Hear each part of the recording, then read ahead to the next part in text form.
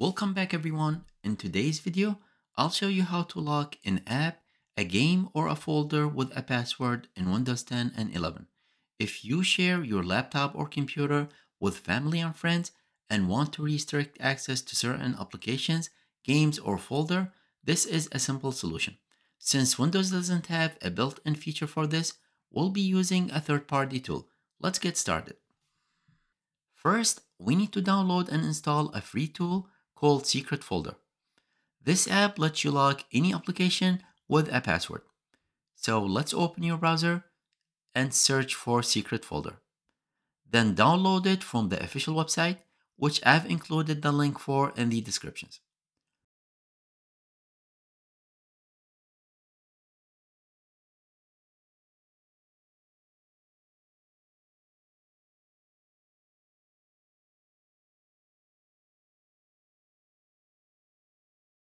Once you open Secret Folder for the first time, you'll set up a password to protect your apps.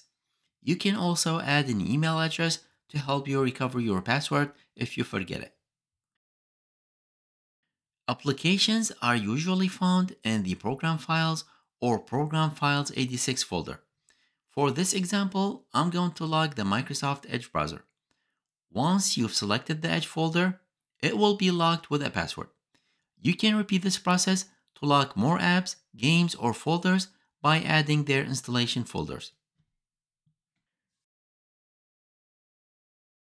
Now, if I try to open the locked program from anywhere in Windows, for example, if I double click on it here from the desktop, I get an error message saying the app shortcut will no longer work properly.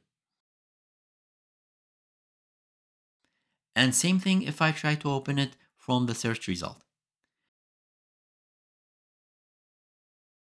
Now to unlock an app later, simply open the secret folder and enter your password.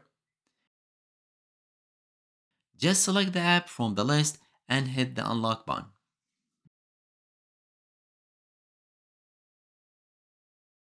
It's important to note that the secret folder cannot be uninstalled without entering the password you set. This means if someone tries to uninstall secret folder to unlock an app, they won't be able to because it's password protected. This adds an extra layer of security to keep your application safe. And that's all I wanted to share in this video. I hope you found it useful. As always, please like and subscribe for more content like this. Bye for now.